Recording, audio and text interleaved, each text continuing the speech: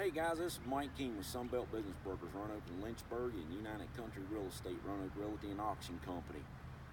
Here today in Henry County, listing this piece of property. It's a 16,100 square foot building situated on 3.1 acres. Building is the home of Building Supply Incorporated that's been here in business since 1946. Take a look at our website. Uh, we'll have more details to come on there. You can give me a call at 540 580 8700.